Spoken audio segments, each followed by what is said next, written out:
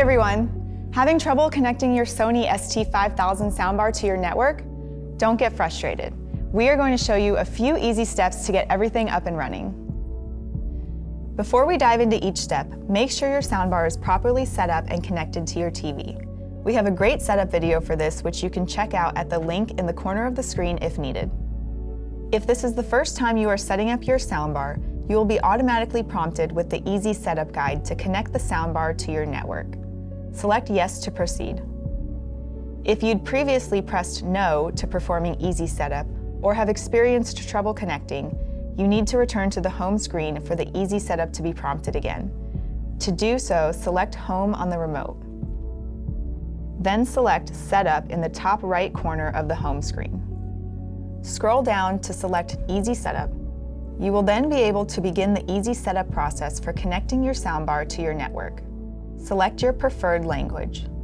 Next, you can select if you would like to use Quick Standby. This will allow the startup time for your unit to be shorter. Your initial settings are now complete. Wasn't that easy? Next, we will configure your network settings. Select Easy Network Settings to continue. Most people use a wireless setup, that is, you'd like to connect to your soundbar to your network wirelessly through your Wi-Fi. If that's the case, select Wireless Setup. You can also connect your soundbar directly to your network with an Ethernet cable.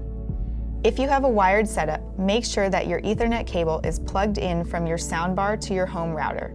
Then select Wired Setup on your TV.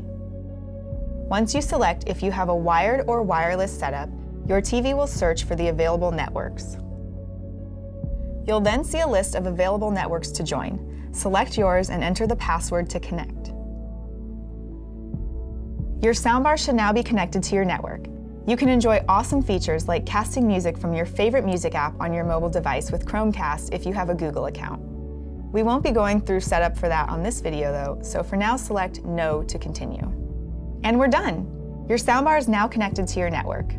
You can now enjoy all the great features with your Sony ST5000 soundbar connected to your network, from integrating Google Home to high-res audio, hearing every precise detail.